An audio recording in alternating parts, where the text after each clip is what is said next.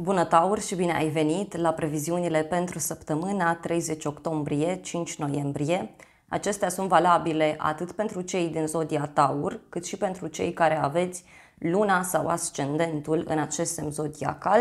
Iar dacă rezonezi cu previziunile, te invit cu drag și la o analiză cu mai multe detalii, la partea bonus.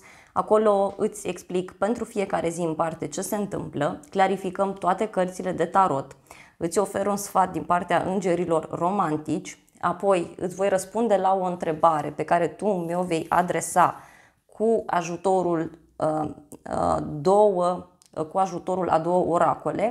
Apoi vedem surpriza pentru tine, iar în final vedem mesaje bonus din partea unui alt oracol.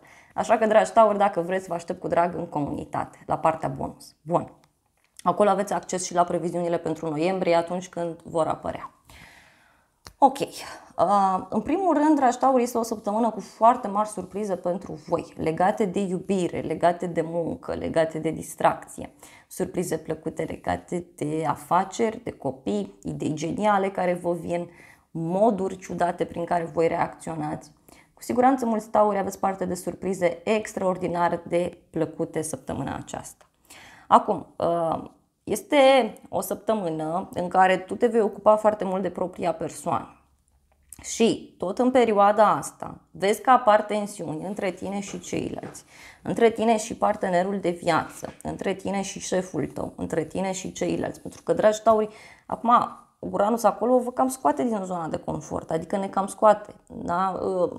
El nu se simte bine în taur și pentru că el este foarte expansiv, da? Deci cumva vă cere să fiți autentici, vă cere să nu vă mai agățați de absolut nimic. Cumva, dacă vreți, vă învață lecția asta, să renunțați la control și să vă deschideți în fața uh, noutăților care apar, că viața e plină cu surprize. Cam așa și la voi. Deci, uh, reacții ciudate pe care le puteți avea, să știți, săptămâna aceasta. Pe de altă parte, este o săptămână în care reușiți să rezolvați tot felul de chestiuni importante, privind niște acte, un proces, uh, privind o nedreptate care poate s-a făcut.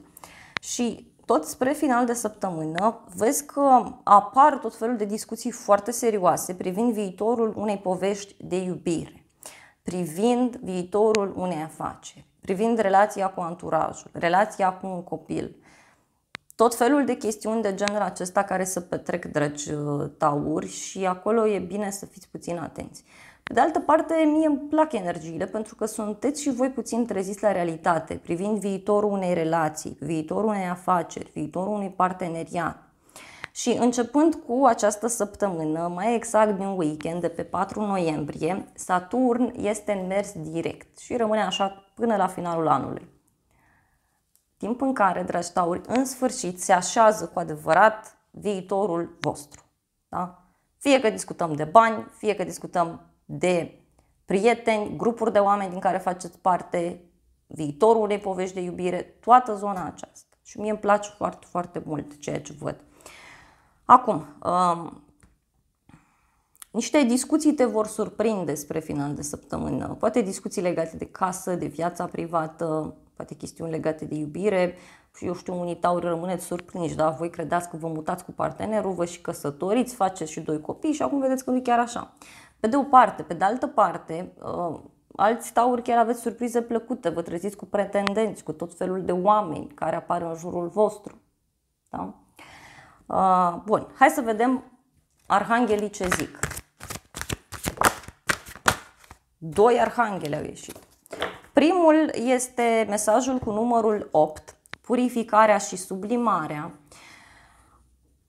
Culorile importante, roșu, galben, auriu, mov, culorile toamnei în mod special, deci numărul 8, foarte important pentru tine. Iar Arhanghelul Zadachiel este cel care ție îți transmite un dar, o ghidare. Te ajut să-ți purifici relațiile cu ceilalți să-ți alchimizezi emoțiile inferioare, chinuitoare, să-ți transcenzi anumite acumulări karmice nefaste, să-ți vindeci în mod miraculos suferințele de orice natură. Foarte frumos, dragi tauri. Este o săptămână în care veți reuși să vă purificați relațiile cu ceilalți, poate chiar veți reuși să eliminați anumite acumulări karmice și reușești să te vindeci săptămâna aceasta. Următorul mesaj este din partea Arhanghelului Chamuel. Numerele importante 6, 60, pacea sufletească de plină este aici pentru tine. Culorile importante roz, albastru, auriu și văd o persoană blondă sau o persoană cu părul deschis la culoare, în special o femeie, care ar putea avea un rol important în viața ta în această săptămână. Arhanghelul îți oferă următorul cadou, următorul dar. Ocrotesc și amplific starea de pace dintre oameni și pacea inimii tale. Îndepărtez toate forțele rele care se opun bucuriei, armoniei și stării tale de împlinire. Deci o săptămână, dragi tauri, în care reușiți să, vă, să ajungeți la pace, la liniște, la echilibru, însă, așa cum spun și arhanghelii, e nevoie să faceți niște transformări, este nevoie să fiți deschiși să închideți anumite uh, situații. Uh, poate nu este neapărat vorba despre o despărțire pentru toți taurii, ci mai degrabă își merge pe ideea că o relație se transformă. Nu o să mai fie la fel. Și avem prima carte, Eremitul, pentru tine.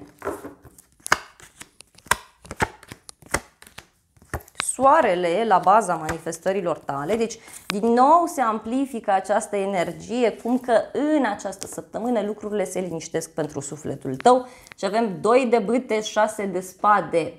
O decizie importantă care se ia în această săptămână, văd o veste care apare de la distanță, poate să fie o persoană într-o altă țară, într-un alt oraș. De asemenea, discutăm, dragi tauri, despre un drum pe care îl faceți undeva anume. Discutăm despre o hotărâre importantă care se ia pentru viitorul tău. Planifici ceva pe un termen mai lung. Apoi avem eremitul pentru unii tauri, o legătură cu zodia fecioară, pentru toți taurii, nu știu de ce am zis pentru unii tauri. Da, unii poate o să simțiți voi mai intens energia eremitului, dar alții o să o simțiți în relațiile voastre, că eremitul este energia generală pentru luna noiembrie, să știi, în acest an, cel puțin, da? Ori este eremitul, ori e luna, depinde. Și eremitul vorbește despre stabilitate, despre maturitate. O relație se maturizează, poate să fie și un moment în care încep să vezi lucrurile mai clar. Poate ai niște activități împreună cu partenerul care cumva fac relația mai matură. Soarele, la baza manifestărilor tale, o legătură cu zodia leu pentru unii dintre voi. Soarele reprezintă bucurie, armonie, succes, un moment de eliberare pentru cei mai mulți dintre voi și este clar o săptămână în care tu vei vedea un adevăr.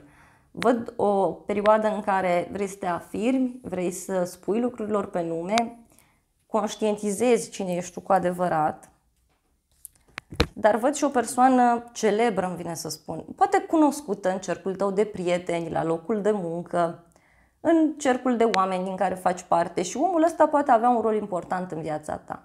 Te poate ghida, te poate influența. Apoi avem cavalerul de cupe în inima ta.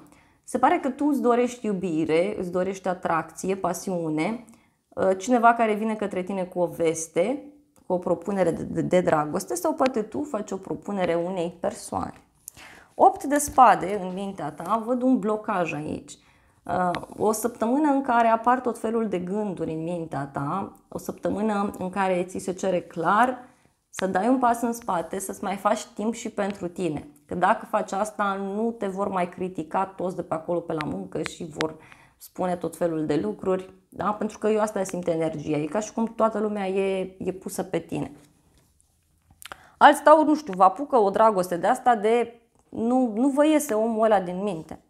Asul de bâte în exterior, avem aici o speranță mare pe care cineva o are în legătură cu tine, o nouă activitate, o atracție mare, dragi tauri, dar și noutăți plăcute care apar în această perioadă.